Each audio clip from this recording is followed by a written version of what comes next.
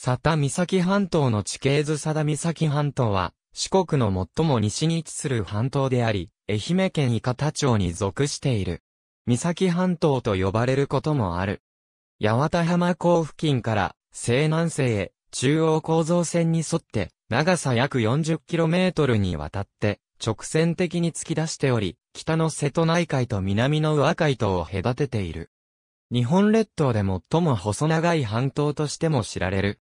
先端には、佐田岬があり、瀬戸内海国立公園に指定され、半島腹部は、佐田岬半島和海県立自然公園に指定されている。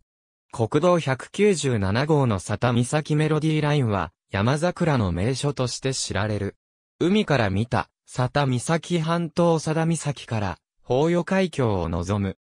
高島と、その右奥に、佐賀の関半島が見えるメロディーライン佐田、岬灯台近くの四国最西端の、久田岬半島は、日本列島における最大の断層である中央、構造線の南縁にあたる。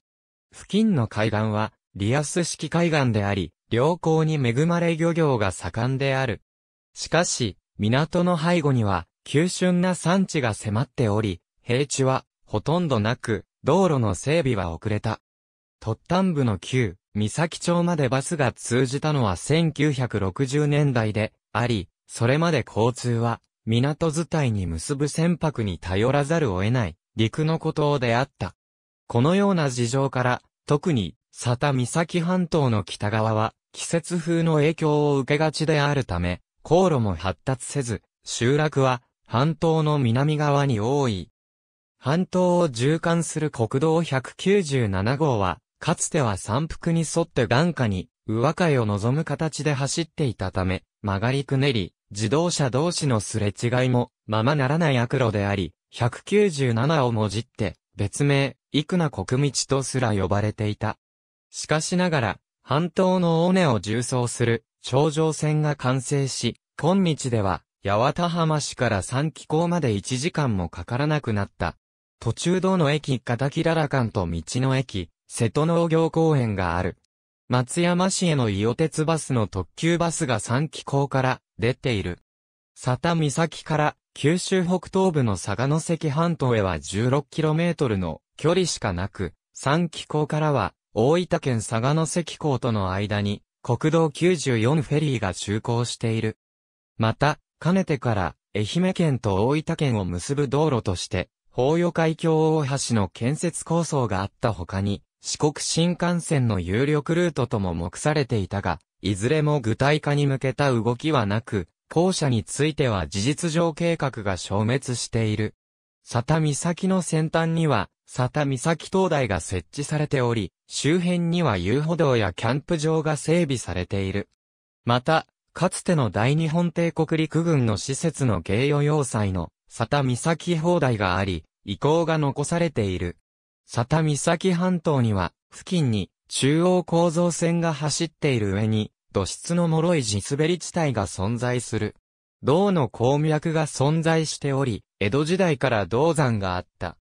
その後、藩による管理から解放され、民間でも鉱山開発が可能になった明治時代前半には、八幡浜市保内町の付近では、柳谷銅山などの鉱山開発が盛んに行われ、一時は精錬所も設置されていた。精錬所は、八幡浜港沖合の無人島にも設置されていた。公害の発生もあり、短期間で終わったが、今日ではそれらの産業遺跡が各地に残されている。道の駅伊方キララ間の屋上から、伊方原発が見える。佐田岬半島は、宇和海と瀬戸内海に面しており、岬味、岬サバや、伊勢エビ、サザエ、天草、チリメン加工等で知られる水産業が盛んである。また、愛媛県は柑橘類の栽培で知られているが、佐田岬半島においては、斜面を段々畑にした夏みかん栽培が行われてきた。佐田岬半島は北西に風を遮る陸地がないため、北西からの季節風の影響を受けやすい。佐田岬半島は、風力発電のためには、風況が良く、発電のための風車が旧伊方町西部から旧三崎町東部にかけての両線上に林立し、独特の景観を構成している。四国では、風力発電に適した、特に風況の良い地域は、佐田岬半島か、四国カルスト、高知県梼原町付近の四国山地とされている。このようなことから、旧瀬戸町では、風力発電に精力的に取り組み、市町村合併の直前頃から旧三崎町でも取り組むようになった。対して、旧伊方町は、伊方原子力発電所があるため、風力発電には取り組みにおいては、更新地域であった。その後、新、伊方町になってからは、合併前の他の風力発電の取り組みを引き継いで、推進するようになった。ありがとうございます。